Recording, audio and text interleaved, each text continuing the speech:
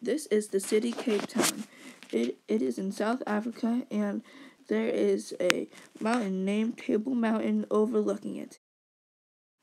This is Ghana in the Democratic Republic of the Congo. It is a very poor city as you can see. In every county there is only one road. This is Kilimanjaro Mountain. It is in Tanzania. It is made up of two volcanoes that have cooled down. This is the top of the mountain. Here, the volcano part is.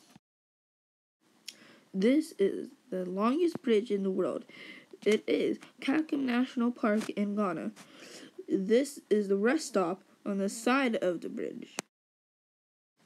This is Carthage in Tanzania.